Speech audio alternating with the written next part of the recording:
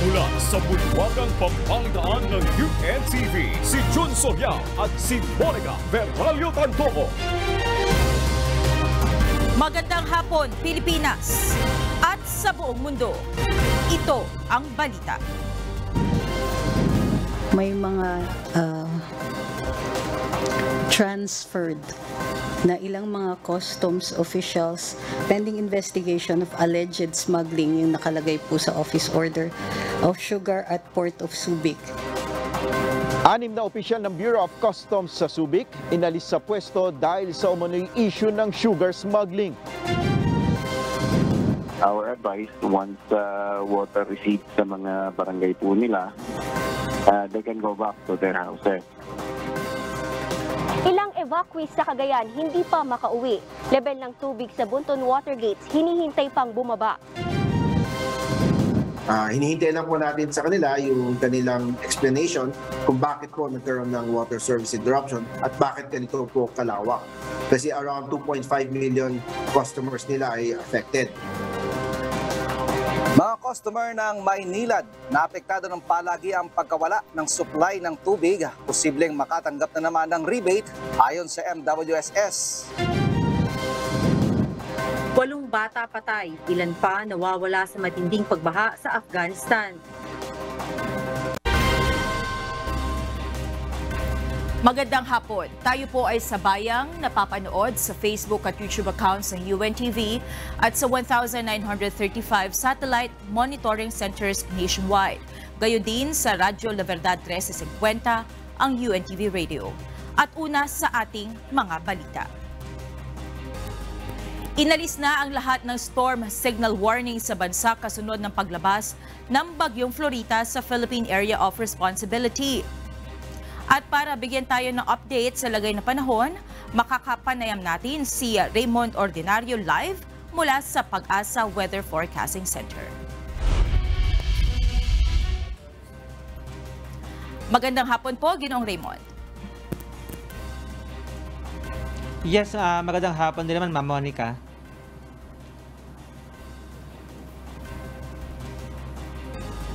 Panahon natin ngayon, Ginoong Raymond. Sa ngayon nakita natin tulad na nabanggit mo no, so tuluyan na nga uh, kumikilos papalayo itong bagyong si ah, Florita at ah, kaninang alas 3 ng hapon ay ah, tinatayang nasa layong 585 kilometers sa may kanluran niya ng Kalayan, Cagayan. Nagtataglay pa rito ng hangin aabot ng 100 kilometers per malapit sa gitna at may pagbugso na aabot ng 125 kilometers per hour. Patuloy na kumikilos ng west-northwest sa bilis na 25 km per hour at tinatahak na nga niya ang pangkalatang direksyon papunta rito sa southern China. Habang lumalayo ito ng ating bansa ay wala na itong direktang epekto sa anumang bahagi ng ating kapuluan, kaya nga habagat o southwest monsoon na patuloy na umiiral dito sa kanlurang bahagi ng Luzon, kaya ngayong araw ay patuloy nating aasahan ang uh, maulap na papawiri na may kalat-kalat na pag-ulan at pagkagurog dyan sa Ilocos Region, Sambales, Bataan, Occidental Mindoro at Northern Palawan. Kaya patuloy pa rin natin uh, pinapaalalahanan ang ating mga kababayan sa mga nabanggit na lugar na maging alerto sa mga posible pang mga pag, uh, epekto pa ng mga pag-ulan dala nga nitong ating habagat. Metro Manila and the rest of the country magkakaroon naman ng maaliwalas ang panahon maliban lamang sa mga isolated rain showers or thunderstorm.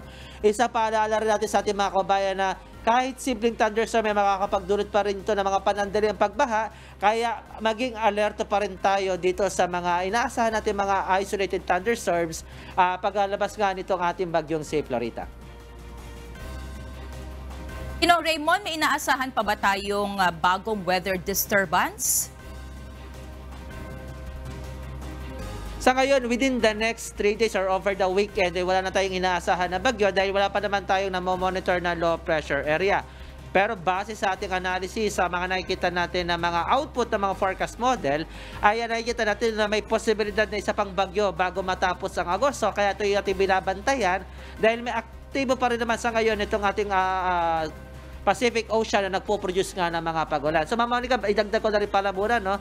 Sa ngayon, meron tayo nakataas na gale warning dyan sa mga baybay ng Batanes, dyan sa Babuyan Island, Ilocos Norte, Ilocos Sur, La Union, sa may Pangasinan, kasama na ang Bataan at Sambales. Kaya pinapalalahanan natin natin mga kababayan mga isla, at may mga maliliit na sasakyang pandagat na huwag munang pumalawat sa mga nasabing baybayin dahil pa rin sa inaasahan natin mga malalaking pag-alon.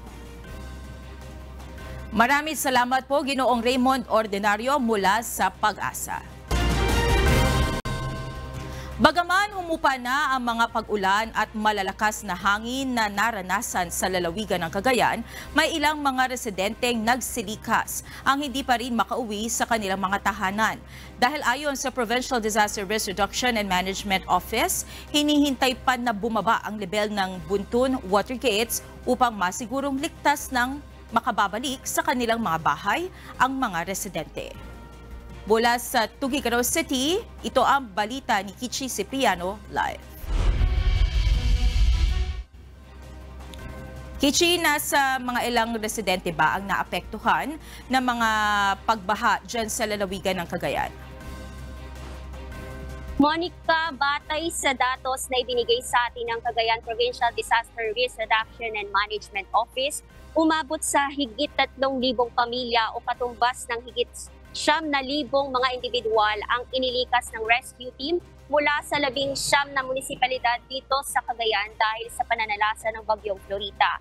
Ayon sa PDRRMO, ang iba sa kanila ay pinayagan ng makauwi pero may ilang evacuees ang hindi pa rin pinahihintulutan dahil hinihintay pa na bumaba ang level nitong Buntun Water Gates para masiguro na ligtas nang bumalik sa kanilang mga bahay ang mga residenteng binabaha dahil sa bagyo. As of 11 a.m. kanina, nasa 7.7 meters pa ang taas ng tubig sa Bunton Bridge. Ibig sabihin nito ay nasa warning level pa ang antas ng tubig kaya't may posibilidad na mataas pa rin ang baha sa ilang mga lugar lalo na ang mga naninirahan sa mababang lugar. Sa panayam kanina kay Cagayan PDRRMO Head Rueli Rapsing, sinabi nito na kinakailangan pang hintaying bumaba sa 5 meters ang level ng tubig sa Bunton Bridge para masabi na ligtas ng pauwiin ang mga nagsilikas na residente. Pakinggan natin ang pahayag ni Mr. Welly Rapsing, ang head ng PDRRMO ng Cagayan. Our advice, once uh, water recedes sa mga barangay po nila, they can go back to their houses. But so far sa ngayon, ang uh, buntun wa- water gauge natin sa Cagayan River, last reading is 8 meters eh. So we're, we're waiting na bumaba dun sa threshold natin na 5 meters so that uh, no more uh, barangays will be underwater. Ipiniliwanag rin ng PDRRMO na may ilang mga lugar dito sa Cagayan ang hindi pa rin humuhupa ang baha at wala itong kaugnayan sa mataas na level ng tubig sa Cagayan River. Ayon sa head ng PDRRMO, sadyang mga lugar dito sa Cagayan ang problema ang outlet ng tubig kaya't natatagalan ang paghupa ng baha. Narito at pakinggan natin muli ang pahayag ni Mr. Ruel- Rapsing, ang head ng PDRRMO Cagayan. Yung uh, rescue efforts po natin, especially doon sa sa mga areas, uh, may mga cases kasi na hindi attributable doon sa pagtaas ng tubig ng Cagayan River.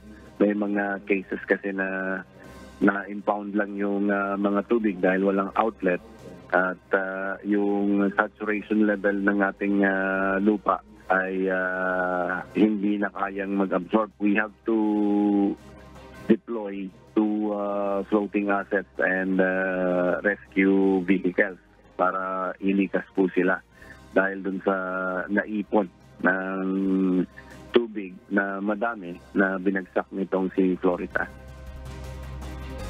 Samantala, sa munisipalidad ng Baggao, dumagsa sa tanggapan ng Department of Agriculture ang mga magsasaka na naghain ng notice of damage para makakuha ng bayad pinsala sa kanilang mga nasirang pananim. Ayon sa Municipal, Municipal Agriculturist ng Baggao, nasa 800 ektarya ng taniman ang palay ang nasira ng bagyo habang 40% naman ang taniman ng mais. Kasama din na mabigyan ng insurance ang mga nasirang palaisdaan at high value added crops.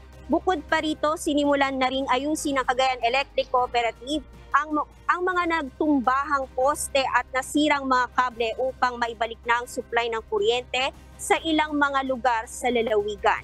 Patuloy naman ang isinasagawang koordinasyon ng Provincial Social Welfare and Development sa mga munisipalidad upang maipabot ang iba pang mga pangangailangan ng mga residenteng naapektuhan ng bagyong Florita.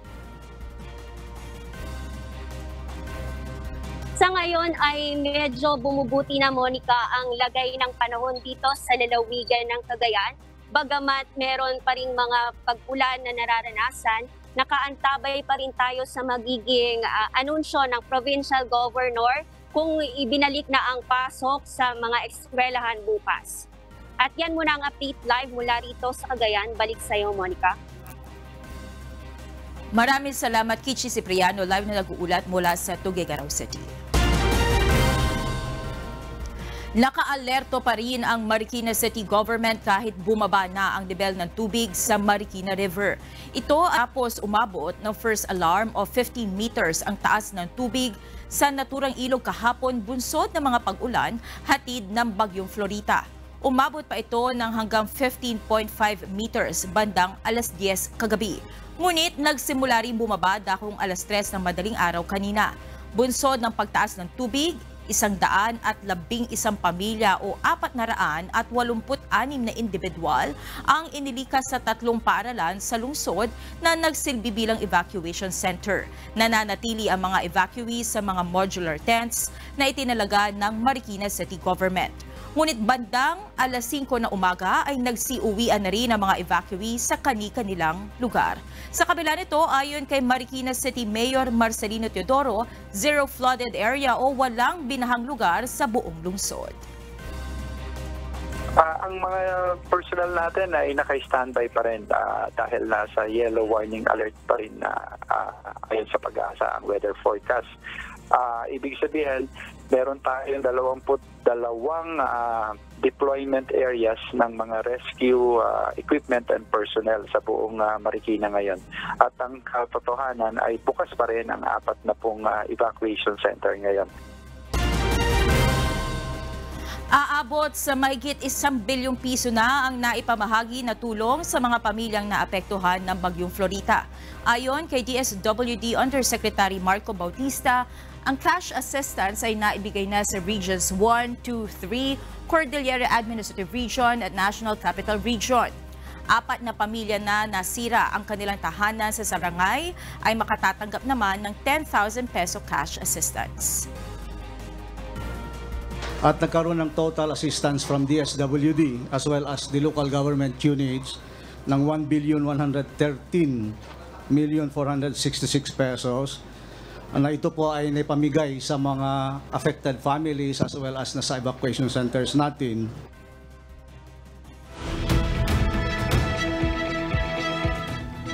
Walong bata ang patay sa matinding pagbaha sa Afghanistan kasunod ng matinding buhos ng ulan. Ayon pa sa United Nations Children's Agency, marami pa ang nawawala bunsod ng pananalasa ng kalamidad. Ito ang balita ni Early Briones. Maraming bahay sa Central at Eastern Afghanistan ang inanod ng tubig baha ngayong linggo. Ayon sa United Nations Children's Agency, walong bata ang binawian ng buhay at marami pa ang nawawala dahil sa kalamidad. Nag-deploy na ang United Nations ng response team sa Eastern Afghanistan upang makapamahagi ng ayuda sa libu-libong residenteng nawala ng tirahan at kabuhayan. Batay sa tagapagsalita ng United Nations Children's Fund sa Afghanistan na si Samantha Mort, pinangangambahang tumaas pa ang child death toll dahil marami pa ang nawawala bunsod ng flash floods. Umaapila naman ang Taliban Administration Disaster Authorities ng ayuda mula sa international community matapos iulat na hindi bababa sa 20 ang nasawi sa kalamidad. Ngayong taon, matitinding natural disasters ang tumama sa Afghanistan, kabilang na ang tagtuyot at malakas na lindol noong Hunyo, kung saan mahigit isang libo ang nasawi. Sa gitna ito ng pagkakaputol ng bansa sa international financial system, simula nang mag-take over ang Taliban isang taon na ang nakalilipas. Early Briones, UNTV News and Rescue. Diyos ang aming sandigan, serbisyo publiko ang aming pinahahalagahan. Patuloy ang paghahanap ng pamahalaan sa punot dulo ng sinasabing problema sa supply ng asukal. Kanina tinanggal sa pwesto ng pamunuan ng Bureau of Customs ang anim na opisyal nito sa Port of Subic. Ito ay habang iniimbestigahan ang posibleng pagkakasangkot ng mga ito sa umunoy smuggling ng asukal. Ito ang balita ni Nel Maribuhok. May mga ah, transferred na ilang mga customs officials pending investigation of alleged smuggling yung nakalagay po sa office order of sugar at Port of Subic. Pansamantalang inilipat sa Office of the Commissioner ang anim na opisyal ng Bureau of Customs sa Port of Subic. Batay sa office order na may petsang August 22, nirelieve ni Acting BOC Commissioner Yogi Filimon Ruiz ang mga ito habang hinihintay ang resulta ng investigasyon sa umano'y smuggled na sugar na galing Thailand. Ang anim na tinanggal sa pwesto sa Subic ay sina Marites Martin na isang district collector, Maita Acevedo, Deputy Collector for Assessment, Giovanni Aguilon Laines, Deputy Collector for Operations, Chief of Assessment Division na si Belinda Lim, Vincent Mark Malasmas, Commander ng Enforcement Security Service, at Justice Roman Geli na Customs Intelligence and Investigation Service Supervisor. August 18, sinubukan na ilabas sa Port of Subic ang pinaniniwala ang smuggled na 140,000 bags o nasa 7,000 metric tons ng asukal. Ayon kay Press Secretary Trixie Cruz Angeles, kung mapatutunayang sangkot nga sa smuggling ang mga naturang opisyal, tuluyan silang ididismiss o tatanggalin sa BOC. Ah, gusto kong i-emphasize dito na if there is sufficient evidence, kunwari nakikita natin na may basihan para sa investigasyon, iimbestigahan sila. And pagka sufficient na yung ebidensya, reasonable na yung amount ng ebidensya, then subject to administrative proceedings na sila. Ang pinakamatinding ah, penalty sa administrative case, alam naman po natin, ay dismissal from office, pero without prejudice to criminal charges. Ayon sa Office of the Press Secretary, batay sa inisyal na investigasyon ng BOC Customs Intelligence and Investigation Service, ang naturang shipment ng asukal ay gumamit ng recycled na import permit. Nangangahulugan na nagamit na umano ang mga dokumento na ito sa nakaraang importasyon ng asukal. Nel Maribuhok, UNTV News and Rescue, Diyos ang aming sandigan, serbisyo publiko ang aming pinahalagahan. Inaasahan ng Sugar Regulatory Administration na magiging matatag na ang presyo ng asukal sa loob ng isang buwan. Sinabi ni SRA Acting Administrator David Alba sa isang panayam na nagsimula na ang sugar milling at posibleng maging full operational ito sa kalagitnaan ng Setyembre. Bunsod nito maaaring bumaba sa mahigit 80 pesos ang kada kilo ng asukal. Samantala, handang tumulong ang pamahalaan sa mga maliliit na pamilihan na maaring malugi sakaling tumagal sa pagbebenta ang mga supermarket ng mas murang asukal. Samantala, ayon sa Malacanang, maaring maging basehan ng pamahalaan ang mga natutuklasang nakaimbak na mga asukal sa dami ng posibleng angkat ng Pilipinas na asukal. Ito ang balita ni Nel Maribuhok. Pero kung ma-extend dito or the president or or yung masyadong ma, ano dire yung magiging effect sa kanila, then magre-responde ang ating gobyerno. Asahan niyo po. Mabibili na ngayon sa ilang malalaking grocery at supermarket ang asukal na nagkakahalaga ng 70 pesos kada kilo. Bunsod nito malamang na mabawasan ng mga mamimili sa mga maliliit na tindahan na hindi kaya magbaba ng presyo. Kaya naman tutulong ang pamahalaan kung sobrang maapektuhan ng mga maliliit na negosyante. Ang pagbebenta ng murang asukal ng ilang kilalang supermarket ay alinsunod na rin sa naging pakiusap ni Pangulong Ferdinand Bongbong Marcos Jr.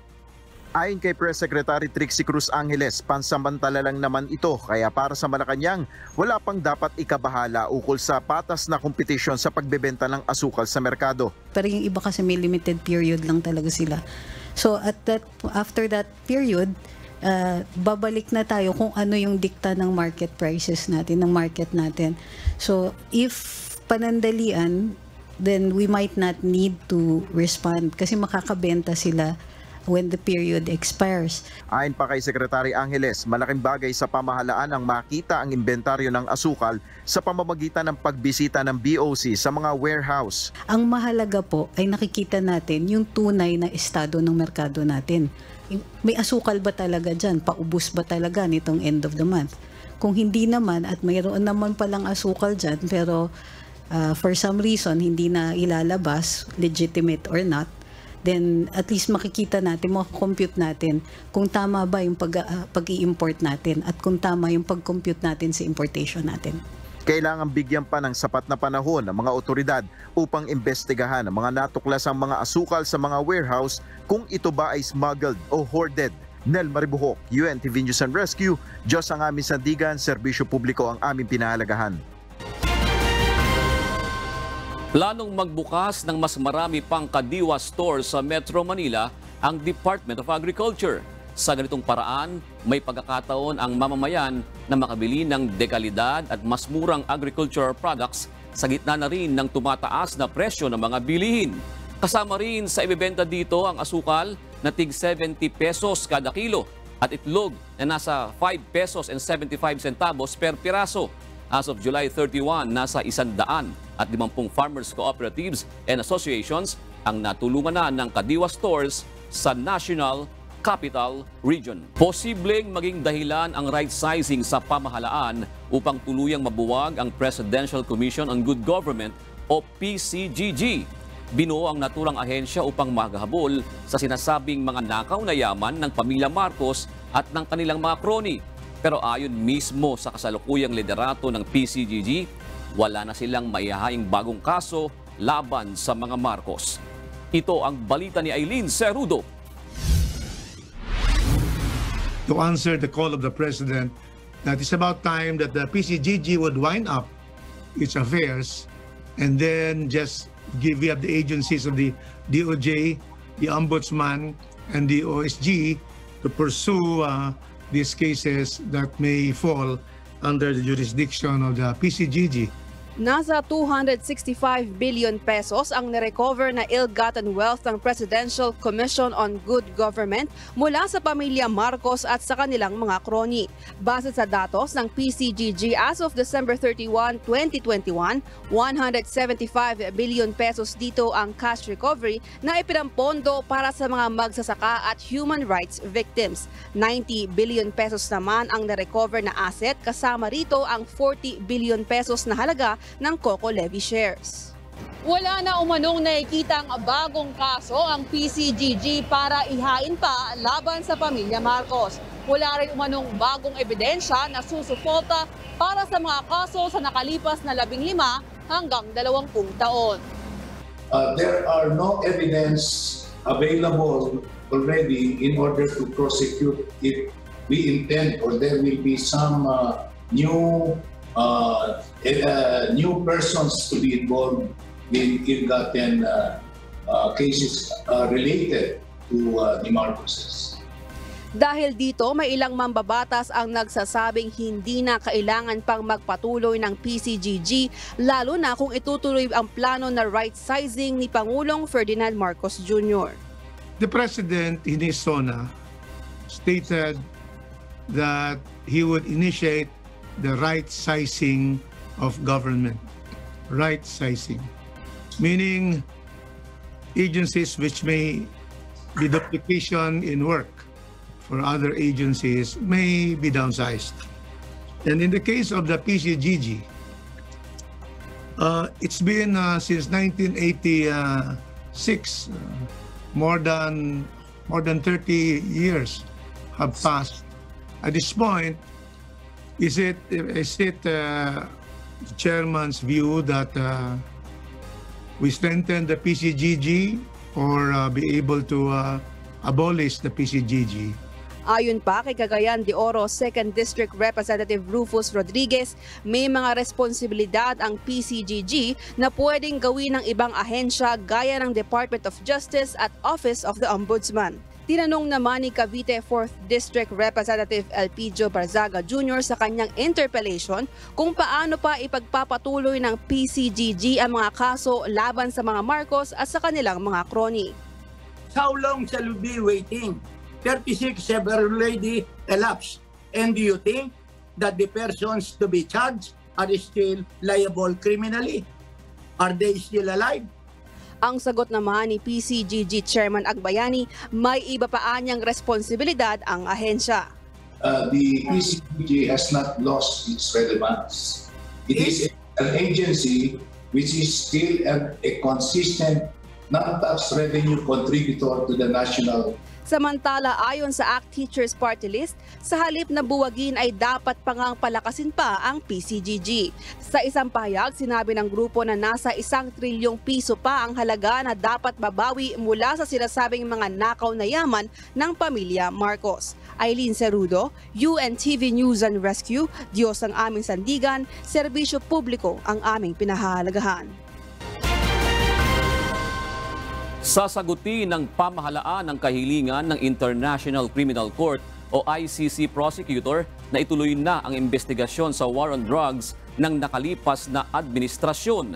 Ngunit ayon sa Department of Justice, hindi ibig sabihin ito ay kinikilala na ng pamahalaan ang jurisdiksyon ng nasabing tribunal. Ito ang balita ni Bernard Dadis. We are not complying with any demand because we are not under the ICC. We are doing this as a matter of committee to inform them that we are doing something about the problems that we are supposed to solve on our own.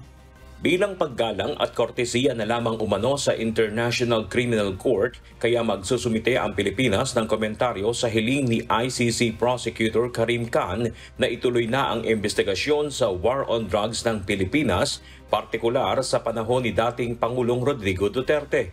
Ayon kay Justice Secretary Jesus Crispin Remulla, hindi na bahagi ng ICC ang bansa kaya hindi na pwedeng utusan ng tribunal ang gobyerno ng Pilipinas. Igigit din ng kalihim na may ginagawang hakbang ang pamahalaan para imbestigahan ang mga krimen sa jurisdiksyon nito.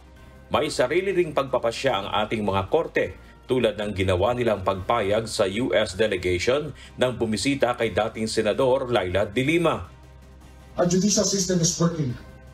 And that is uh, the most important thing that is there. No? Uh, just the fact that sabi ko nga, the Americans went to court to ask for permission to visit Senator De Lima, which was granted by the court. Just shows that you have a court that really determines the action of people, whether they're, they're merited or not. Dagdag pa ni Remulla, dapat lang manghimasok ang ICC kung walang gumaganang judicial system ang isang bansa. We have an existing justice system that is uh, characterized by the rule of law. So, the, if the decision is to pull out of the ICC, so be it. We will just determine the responsibility of people through our own means. Tiniyak din ng kalihim na hindi tumitigil ang gobyerno sa pag-iimbestiga ng mga krimen tulad ng extrajudicial killings. Nakahanda din ang DOJ na bigyan ng proteksyon ang mga saksi na nakahandang lumantad at magbigay ng kanilang testimonya. September 8, 2022 ang ibinigay na deadline ng ICC para sagutin ang hiling ng kanilang prosecutor. Pagkatapos nito ay magpapasya ang International Tribunal kung kailangan nga bang ituloy pa ang investigasyon nila ng kaso ng mga napatay sa kampanya kontra illegal na droga ng pamahalaan. Bernard Dadis, UNTV News and Rescue. Diyos ang aming sandigan, serbisyo publiko ang aming pinahalagahan. Inanunsyo na ng Korte Suprema ang schedule para sa 2022 bar examinations. Sa ilalim ng Bar Bulletin No. 6 Series of 2022, nakatakda ang susunod na bar exam sa November 9, 13, 16 at November 20 ngayong taon. Ayon sa Supreme Court, digital ang gagawing examination gaya ng ginawa sa nakaraang bar examinations. Kaya naman pinapayuhan ng lahat ng kwalipikadong aplikante na laging i-check ang Bar Plus registered email at Bar Plus accounts para sa iba pang mga anunsyo. Isa ba kayo sa biglaan na lamang nawawalan ng supply ng tubig? Nagpapatupad kasi ng water service interruption ang Maynila lalo na sa gabi para umano masapatan ang pangangailangan sa araw. Pero ayon sa MWSS, posibleng utusan nila ang water company na magbigay ng rebates sa mga apektadong consumer. Ito ang balita ni Ray Pelayo.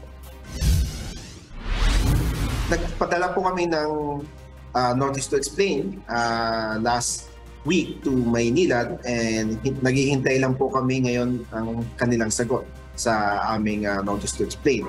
At para po uh, i-explain sa atin kung ano ang dahilan sa bakit masyadong matagal ang kanilang water service interruptions. Maraming reklamo ang natatanggap ng Metropolitan Water Works and Sewerage System o MWSS sa mga customer ng Maynilad na hindi umano nila alam na mawawalan sila ng tubig. Ang impormasyong nakuha ng MWSS ay nag-text blast naman ang Maynilad pero dapat din daw ay i-post ito sa lahat ng social media account ng kumpanya dahil hindi naman lahat ay nakasubscribe sa text messaging. Ayon sa Chief Regulator ng MWSS, tumugon naman agad dito ang Maynilad pero ang gusto pa nilang malaman ay kung bakit kailangang magpatupad ng water interruption. So they complied immediately sa ating directive. Uh, hinihintay lang po natin sa kanila yung kanilang explanation kung bakit po nagkaroon ng water service interruption at bakit ganito po kalawak. Kasi around 2.5 million customers nila ay affected. Ang isang kainang ito sa Malabon City, 24 oras na nakabukas pero may oras sa gabi na nawawalan sila ng tubig. Mahirap kasi dun, dun pa sila, malayo pa sila nag-iigib eh. Uh, Siyempre hugasan, marami. Kaya kailangan talaga lagi may tubig. Ayon sa Maynilad, nagpatupad sila ng water service interruption sa gabi para hindi kapusin sa araw o during peak hours. Kasi recently napansin natin na tuwing hours of peak demand, lumalakas ang pangangailangan sa tubig. At kapag lumalakas yan, mas mabilis din yung pagkaubos ng laman ng ating mga imbakan ng tubig. So para ma-ensure na hindi ito madipita, no, sa gabi, pinupuno natin yung mga reservoir. Ayon sa MWSS, kapag hindi sila kumbinsido sa paliwanag ng Maynilad, ay maaari nilang utusan ito na magbigay ng rebate sa mga apektadong customer gaya ng nangyari kamakailan lang. Ang isa sa maaaring matanggap na dahilan sa pagpapatupad ng water interruption ay ang kakulangan ng supply ng tubig o kung naapektuhan ito ng kalamidad. Ray Pilayo, UNTV News and Rescue, Diyos ang aming sandigan, serbisyo publiko ang aming pinahahalagahan.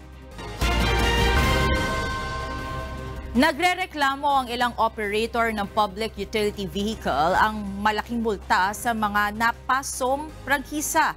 Ito ay matapos matenga ang kanilang biyahe na mahigit dalawang taon dahil sa pandemya. Ayon naman sa Land Transportation, Franchising and Regulatory Board, pinag-aaralan na nila ang pag-aalis ng multa rito. Ito ang balita ni Asher Kadapan Jr.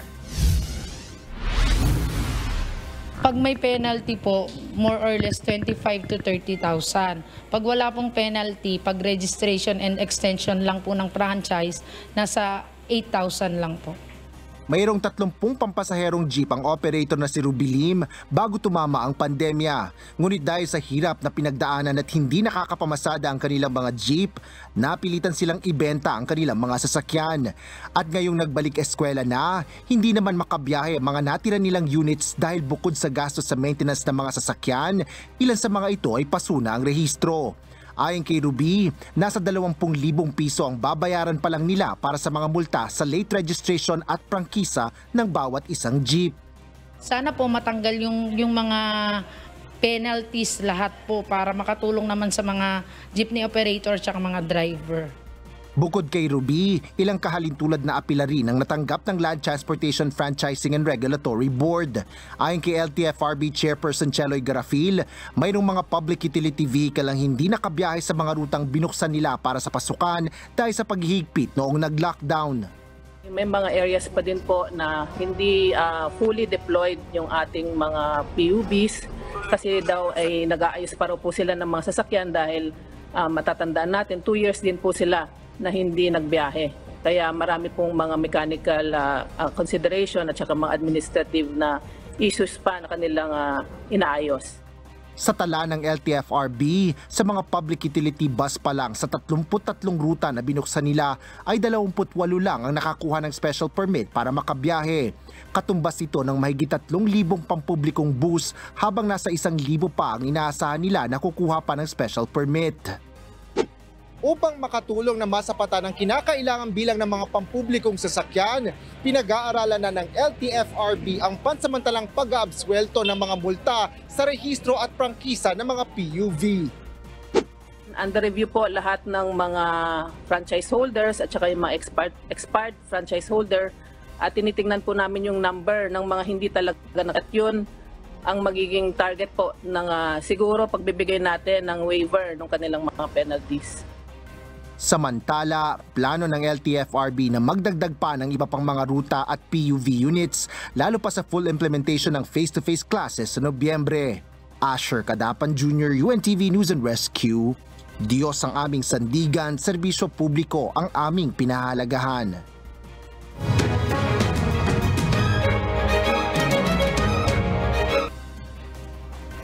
Nagwelga ang mahigit isang daang persons deprived of liberty o PDL sa Iloilo District Jail kaninang tanghali. Hiling nila palitan ang jail warden o warden dahil sa hindi umano maayos na pamamalakad sa naturang piitan. Hinaing ng mga preso, nakararanas sila ng gutom sa kamay ng kasalukuyang warden at kuminsan ay bilasang isda ang inihahain sa kanila. Ngunit ayon sa Bureau of Jail Management and Penology, 70 pesos ang inilaan nilang budget kada araw para sa bawat preso. Sa ngayon ay tinanggal na sa pwesto ang warden upang bigyan daan ang isasagawang investigasyon.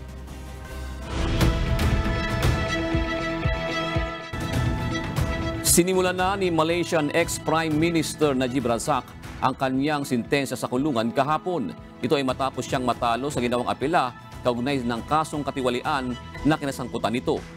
Ito ang balita ni Ann Gonzales.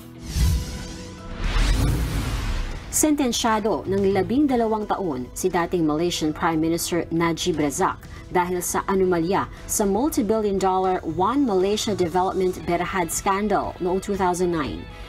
Dinala sa Kajang Prison si Najib Razak matapos basahin ni Chief Justice Maimum Tuan Mat ang hatol. Ayon sa punong maestrado, isang simple at direktang pang-aabuso sa kapangyarihan, criminal breach of trust at money laundering ang kaso. Napatunayang guilty si Najib sa pitong charges, kabilang na ang three counts ng money laundering. Bukod dito, pinagbabayad din ng High Court ang dating opisyal ng 210 million Malaysian ringgit o 2.6 billion pesos. Samantala, pinuri naman ng oposisyon, aktivista at Malaysian citizens ang mabilis na desisyon ng korte. Bago ang ginawang paghatol, nagprotesta si Najib dahil sa ilang beses na pagtanggi ng korte na ipagpaliban ang kanyang apela. Pahayag ni Najib, minadali ang kanyang kaso at hindi anya patas ang ginawang pagtrato sa kanya. Subalit pahayag ng korte, hindi consistent at walang kredibilidad ang mga apela ni Najib upang magkaroon ng reasonable doubt sa nasabing kaso. Ann Gonzalez, UNTV News and Rescue.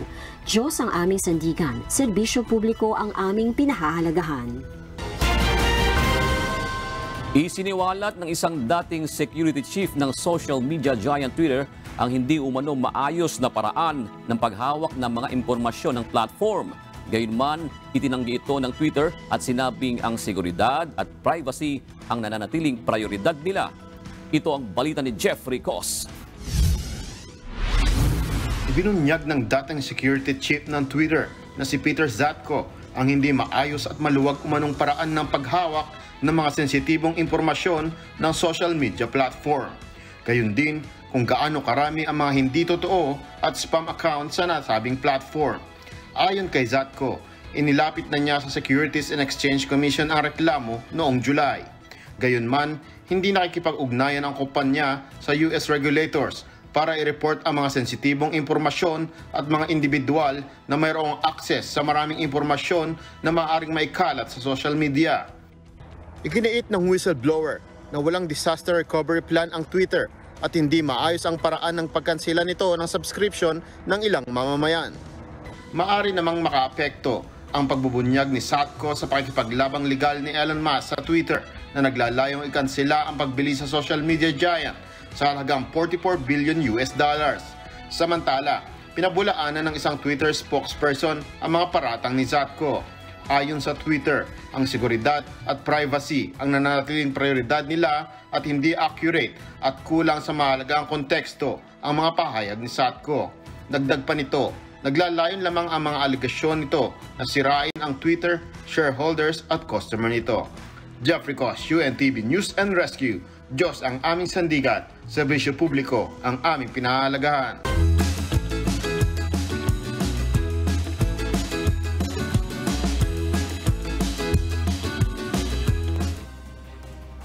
Tuloy-tuloy ang pamamahagi ng Department of Education ng 5,000 pesos sa cash allowance sa mga guro.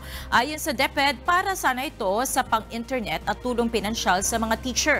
Pero sa karanasan ng ilang mga guro, nahuhugot pa rin ang dapat sanay allowance nila para lamang mapunan ang mga kakulangan sa kanilang mga silid-aralan.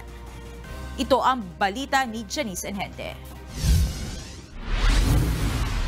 Yung sa 5K, maraming maraming maraming salamat po. Malaking tulong po ito at pinagkakasya po ni teacher yon. Natanggap na ni Teacher Jean Doyong ang 5,000 cash allowance nito mula sa Department of Education. Malaking tulong ito para sa kanyang pagtuturo, lalo't balik pisikal na ang kanyang mga estudyante sa eskwelahan. Gayunpaman, hindi pa rin aniya ito sasapat para sa buong school year, lalo't iba na ang kanilang mga ginagamit ngayon sa pagtuturo ng mga estudyante. Ngayon, uh, napaka-improve na kasi may technology tayo so kailangan talaga ang print. So isa yon sa nagpapamahal ng gas, gas, gastusin ng teacher kasi pag nag-print ka ng colored, malaki ang binabayad mo, lalo na kung wala kang printer. Paliwanag ni Jane ngayong in-person classes na, kinukwenta na niya ang kanyang gagastusin sa pagpapaprint ng activities para sa kanyang apat na pong mag-aaral. Ang plain text nga lang ay 5 pesos, minsan ay 10 pesos. Kapag colored ay nasa 20. Depende pa yun sa sizes, kung maliit o malaki. Pati ang brand bond papers din po. Ayun, binibili rin po namin yan. Lalo na sa mga activities kasi kung ang, ang hawak mong ang section, ang ha, umahawak ka ng 30 na bata sa bawat section, imumultiply mo yon 30 times 5, so 150. Eh sa ang isang rim ay 500. Eh paano kung sa activity mo pa lang ng isang araw yon? paano bukas? Ganun ulit. So yung, yung 500 mo na rims, isang linggo lang. May nabibili namang mga 200 ang rims. Ayun. So kung 200 yon, i-multiply mo sa linggo-linggo na pagbili mo or sa isang buwan na lang, magkano rin po yun? Yung isang libo din yon. Sa isang buwan pa lang, naka 600 ka na sa rim pa lang. Kaya kulang pa rin talaga. Nakuha na rin ni Teacher Nel Subano ang 5,000 cash allowance. Gaya ni Teacher Jane, hindi rin umano ito sasapat. Dahil blended learning pa rin ang kanilang paaralan, mangangailangan pa rin siya ng internet load. Salamat nga, nagkaroon kami ng 5,000 ngayon. Yan po isang pinakamahirap kasi ngayon po ay blended learning. At dalawang araw po uh, papasok ang estudyante, tatlong araw po uh, wala. Tuloy po rin pong gagamit kami ng internet. Yun po ang pinakamalimat mahirap na kalagayan namin ang, ang ating internet na ginagastusan po ng bawat guro. Ayan ay galing po talaga sa bulsa namin. Eh. limang libo na yun, patuloy po yan hanggang sa susunod pa ng mga gawain namin bilang, bilang mga guro. Kulang po talaga.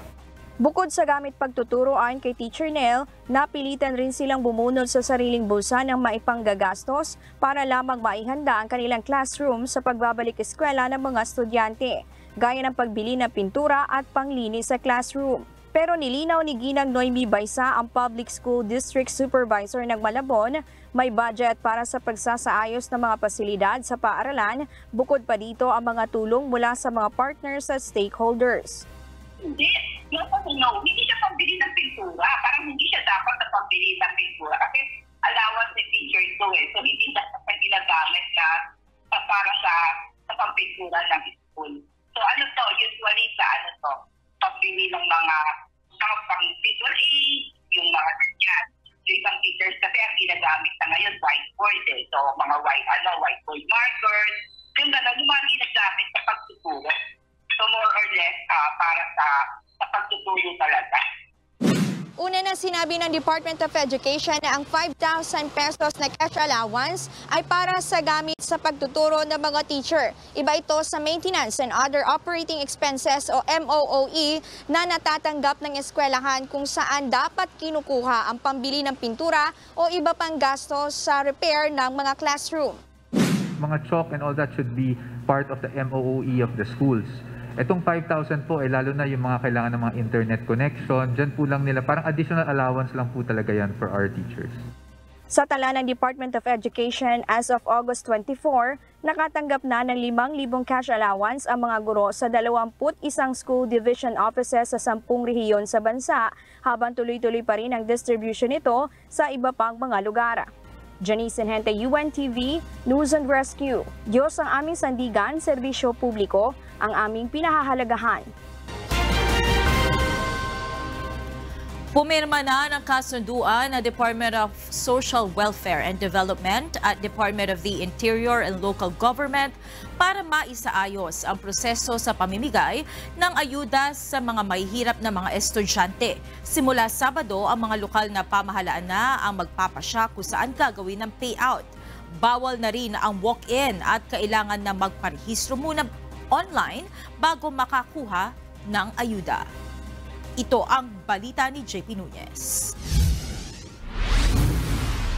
Iniiwasan ho natin na yung walk-in muna kasi kailangan ho nating ayusin, kailangan ho natin i-fine-tune ho ito. Kasi inaasahan ho na pag nag-walk-in ho ulit ma'am, uh, dadagsa po yung tao. Hindi na muna papayagan ng Department of Social Welfare and Development o DSWD ang mga walk-in sa distribusyon ng educational assistance for students in crisis situation simula sa Sabado. Ayon kay Secretary Erwin Tulfo, layo nito na hindi na maulit ang nangyaring pagdagsa ng mga nais makakuha ng payout. Kinakailangan na magparehistro muna online ang mga kukuha ng ayuda. Maaari itong gawin sa pamamagitan ng website ng DSWD o kaya ay mag-text o tumawag sa kanilang hotline numbers na nakalagay sa kanilang mga social media accounts. May ibibigay na confirmation sa pamamagitan ng text message para sa mga kasama na sa payout. Halos lahat naman po ng Pilipino ma'am may cellphone na po eh. Uh, kahit saan ka pumunta, kahit sa mga fisher folks, mga magsasaka, may mga cellphone na po sila. Pati po yung mga nasa bangketa ma'am, yung mga uh, tao na nasa lansangan, naka-cellphone po sila. So, I don't see any reason bakit di po sila makapag-register. Hindi lang naman po online ma'am kasi meron naman through SMS, meron din naman pong uh, through uh, QR code. So, I, I think uh, kaya na ho ng mga kababayan natin na through uh, uh, online registration. Kanina formal nang pinirmahan ng DSWD at Department of the Interior and Local Government ang Memorandum of Agreement para sa pagtutulungan ng dalawang ahensya sa gagawing payout ng mga lokal na pamahalaan. Inaasahan ni Secretary Abalos na mas magiging maayos na ngayon ang distribusyon. What is important here malaman namin gaano ba talaga karaming tao ang dadagsa sa susunod na Sabado. Importante sa amin yon para mapaghandaan natin kung ilang sites ang kinakailangan. No? So, maganda naman ang sistema ngayon dahil may online registration, maasabihan namin kaagad. Batay sa memorandum, ang DILG na ang bahalang maglagay ng mga pulis na magbabantay sa payout center upang makontrol ang pila sa distribusyon ng ayuda habang aatasan naman ang mga lokal na opisyal upang magtalaga ng mga lugar na maaaring gawing payout center. Pag-aaralan din ng dalawang kalihim na gawing alphabetical order o nakabatay sa unang letra ng apelido ang uunahin sa mga tatanggap ng ayuda upang limitahan ang pipila sa Sabado. Lalagyan namin ng letters whose family name will start with letter A, B, or C, or D. No? We will determine it later kung hanggang saan letra lang muna para hindi madagsa ng gusto. Sa ngayon, tinaasan pa sa 1.5 billion pesos ang pondo para sa financial assistance sa mahihirap na mga estudyante at posibleng umabot sa 400,000 ang mabibigyan nito.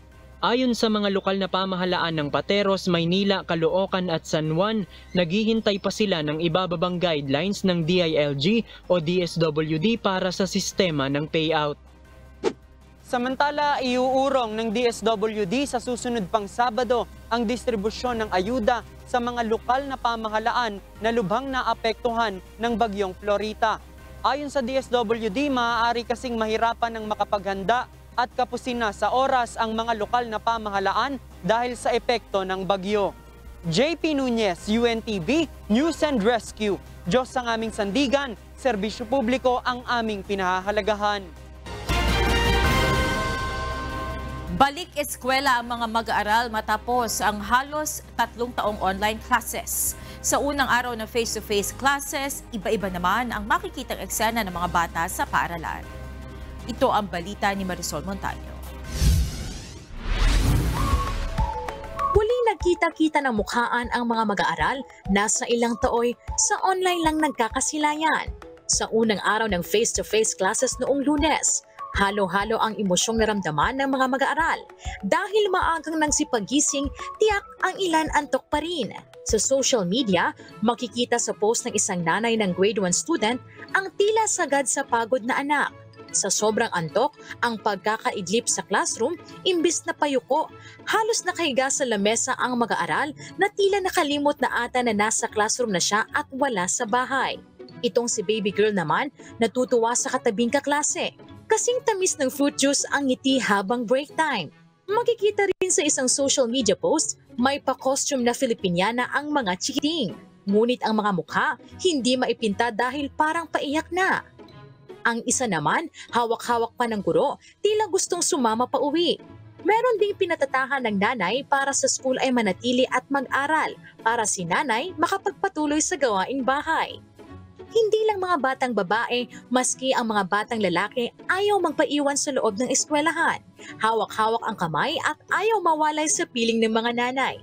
Ang mga ganitong emosyon sa unang araw ng pasukan, kung ilarawan ay tinatawag na separation anxiety. Ayon sa isang clinical psychologist na si Dr. Camille Garcia, kailangang maihanda ang isip at emosyon ng mga bata bago pa ang mismong araw ng balik-aral. Sa loob ng bahay pa lang, dapat naka-mindset na ang mga ito sa gagawin sa loob ng paaralan o ang tinatawag na psychological preparedness. Payo pa ni Dr. Camille, sabikin ang mga bata sa schooling, ipakita ang mga gamit pang eskwela o ipasukat din ang uniforme bago pa ang mismong araw ng pasukan. Sa mga ganitong paraan, hindi maninibago ang mga mag-aaral lalo na siguro ngayon sa panahon na magkakaroon na ng ano ng eskwela, opening classes, may face-to-face classes, definitely sa sobrang tagal natin na nasa loob ng ating pamamahay at sila ay nandun for more than two and a half, more than two and a half years, definitely magkakaroon ng tinatawag na separation anxiety kasi biglang hihiwalay tapos hindi nila alam na talagang malaking adjustment ito. Pwede ba na parang may takot o kaya naman kung hindi man takot, feeling nila mai-insecure sila, hindi nila alam kano yung magiging behavior nila. Ang payo sa mga magulang, tatagan ang loob, huwag nervyusin at hikayatin ang mga anak para sa kanilang ikabubuti ang pag-aaral. Higit sa lahat, kausapin ng maayos kapag tila paiyak at huwag pagalitan. Hindi na naman matatawaran ang sakripisyo ng mga guro, magulang at mga guardian para sa maayos na pag-aaral ng mga bata sa gitna pa ng COVID-19 pandemic. Bukod sa mga nakakaaliw na eksena sa paaralan, nakakaantig din naman sa puso ang sakripisyo ng isang lola sa mga apong napagod sa paaralan at nakatulog sa loob ng jeep habang pauwi sa kanilang tahanan. Marisol Montaño, UNTV News and Rescue. Diyos ang aming sandigan, serbisyo publiko ang aming pinahahalagahan.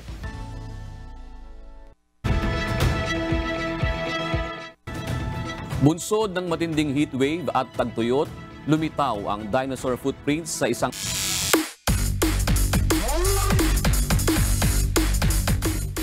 Muling nagpakitang gilas ang Filipino pride sa pole vault na si EJ Obiena. Nasungkit nito ang gold medal sa 26th International Stabber Sport Meeting sa Yokgrim, Germany. Dinaig nito ang sampung katunggali kabilang na ang Tokyo Olympics silver medalist na si Chris Nielsen. Ito ay matapos maklear ng 26-year-old Paul Walter ang 5.81 meters. Bunsod nito nakamit ni Obiena ang kinakailangan upang maging qualified sa 2023 World Athletics Championship sa Hungary. Samantala, nakatakda namang makipagtagisan si Obiena sa kanyang ikalawang torneo sa Altissima Lausanne, Switzerland mula August 25 hanggang 26.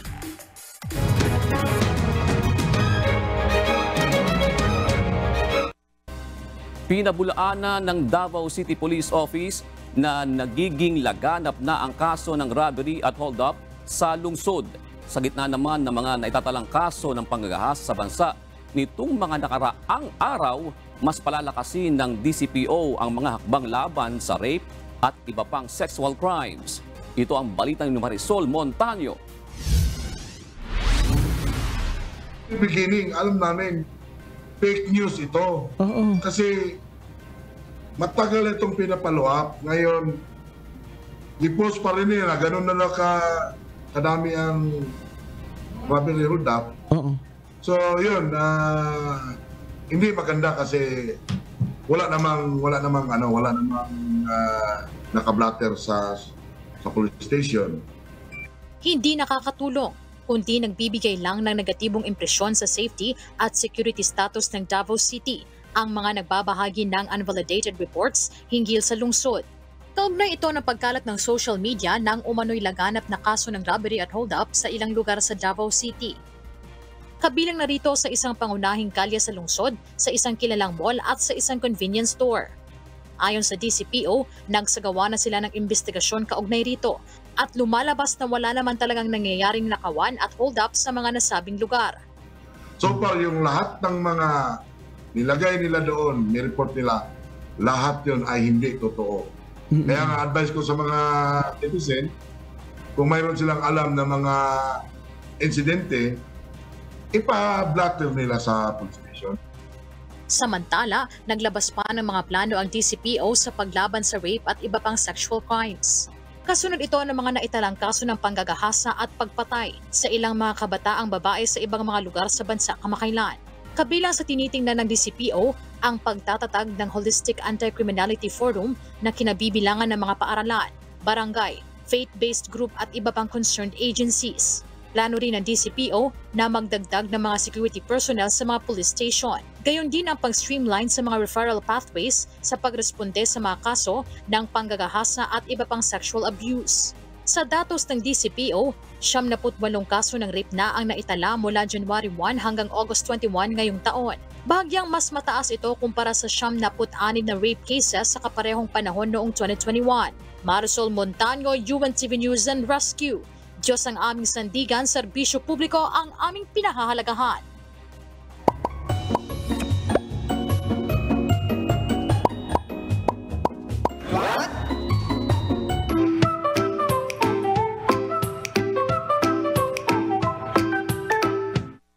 Nidagkaalaman po mga kasangbahay. Sarap ng matulog, no? Kasi malamig at maulan. Then, maya-maya, nanaginip ka na. Pero bakit nga ba tayo nanaginip? Ngayon, hanggang ngayon po, hindi pa rin natutukoy ang totoong dahilan bakit tayo nananaginip. Meron lamang mga teorya na nagbibigay po ng ilang paliwanag. Isa dito ay nagsasabi ng panaginip ay nagsasaayos ng emosyon tulad ng pagharap sa kinatatakutan. May teorya din na ang panaginip ay nakatutulong sa memorya sa pamamagitan ng pagre-replay ng mga nangyayari sa buong araw. Mayroon namang teorya na nagsasabi na ang panaginip ay isang paraan para makalimutan ng mga problema sa buhay. Isang bagong teorya naman na nagsasabi na ang panaginip ay isang paraan para maprotektahan ang ating utak. Hindi man natin malaman ang talagang dahilan kung bakit tayo nananaginip, basta huwag kalimutan na manalangin bago matulog. Sana'y may natutunan kayo at laging tatandaan, mapalad ang tao na nakakasumpong ng karunungan at ang tao na nagtatamo ng kaunawaan.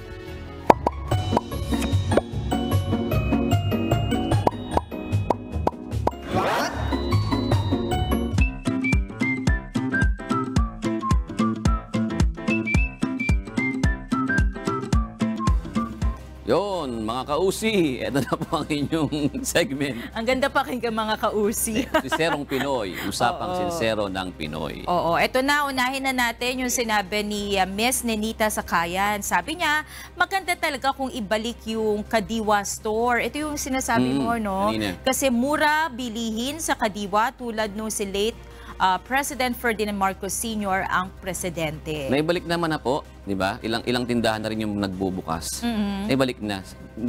Balita kanina sa NCR, Oo, oo. mga ilang daan na rin yung mga kooperatiba na natulungan dahil sa Kadiwa Store. Oo. Mm. Pero dati ba ano yan? Dati parang Nationwide? may warehouse sila dati. eh. Oo. Parang ganun. Maraming, marami. Marami. oh, marami talaga. Kaya very accessible. Mm, yung Kadiwa. Ito naman, galing kay Eves. Pagtuunan din sana yung lumalalang rape incident at patayan. Paano usad ang Pilipinas kung ganyang atras? O kung ganyan, aatras ang mga investor. O, tama nga naman. Mm-mm.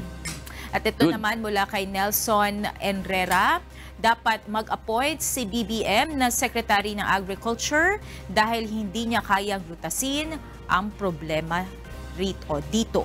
Mm, ayun sa palagay niya yun, di ba? Mm. Kanya-kanya naman eh, tayong opinion Iba naman nagsasabi naman, ay pagbigyan mo muna. Kaya nga niya kinuha yan kasi meron siyang capacity. Kasi may, may, gusto siyang uh, gawin talaga sa Department of Agriculture. Sa bagay, it's too early to judge pa naman eh, kung Mm. tutuusin. So, yeah, siguro pwede nating pagbigyan ng ilang buwan. Tingnan natin, no? Parang si uh, Vice President Sara Duterte. Oo, di ba? Education Secretary. Education Secretary. So dalawa yung ginagampanan niya Mhm. na tingin ng iba naman kaya namang gampanan. Oo. Mm, ito naman kay Emily B. Emily B. Magandang manood ng uh, news dito, hindi bias. Binabalita kung ano ang dapat at hindi nangingialam. Walang mali siya sa pagbabalita. Ayun, salamat po Maraming Diyos. salamat Sa inyo naman. pong uh, komentary na yan. At uh, Oo. yun ang napapansin ng karamihan kasi sa ating pagbabalita. Mm-mm. At yun po ang, siyempre yun po ang kumbaga standard na itinuturo dito, golden standard. Golden Tawagin. standard. Pero dapat naman kasi talaga, as much as, of course, ikaw meron kang personal biases, ako may personal Mm. biases, pero pagdating sa pagbabalita, ah isinisan tabi natin Mm. yan. Hindi dapat natin yan ipinapakita. Oo, kasi minsan 'di ba may mga sentimento ka rin sa buhay. Oo, Minsan, yung hindi iba nga pinopost sa social social media, eh, no? Pero bilang isang mamamahayag dapat pagdating mo sa humarap ka na sa camera at nagre-report ka na, dapat yun na. Patas ka na. Oo, wala ka ng bias doon. Correct. Mm. Yun. At narito naman po ang salita ng Diyos na ating sandigan mula sa Aklat ng Kawigaan 14 at 31 na nagsasabi, Siyang pumipighati sa dukha ay umahamak sa may lalang sa kanya, ngunit siyang naawa sa mapagkailangan ay nagpaparangal sa kanya.